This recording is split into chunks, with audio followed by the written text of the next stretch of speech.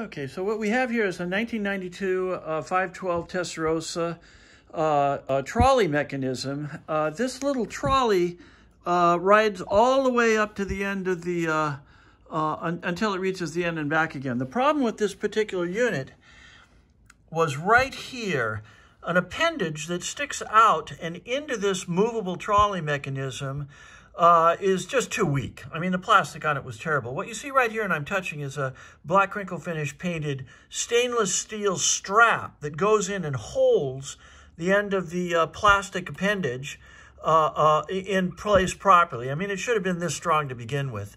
There's an identical unit on the other side. So now we have resecured the weakest link in this particular trolley assembly. Now, in the trolley are two micro switches.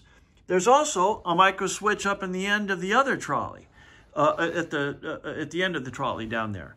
Now what we're going to do here is activate the micro switches just as though you were putting the clasp down into this catch. And we'll show that it has continuity on our ohm meter here. You can hear the audible and you can see the needle move across. Now when the bar is put into the trolley, as you can see, that micro switch activates correctly. And now what we're going to do uh, is, uh, uh, without the, the bar in it, that's fine.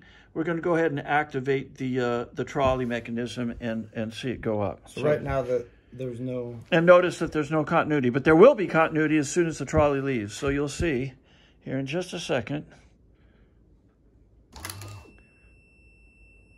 And, and it, now you can hear that the uh, uh, that the micro switch has been released there, which is correct. Go to the top. Now, now we have to go all the way to the top. I'm gonna swap this to the other micro switch. Okay, now we're now we're connected to the micro switch up at the top, and you hear the continuity at the top, and continue all the way up,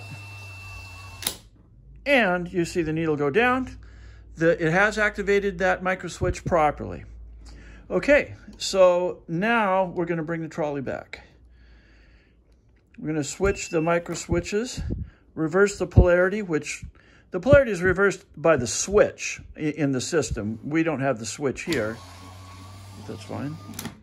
And now it's engaged again. And uh, just to verify, we're going to verify continuity with that micro switch again? Or not necessary? No. Well, we already did it, so. I'm just going to run back and forth. Okay, and you can see that the tape in the electric motor here is properly driving the trolley in uh, both directions as we reverse the continuity. And you hear the deft click as it pulls in and operates the uh, micro switch. So uh, everything works now as a result of us uh, reinforcing and making stronger uh, the receiver on the end of the trolley. So uh, thank you very much for your attention. That's our story and we're sticking to it.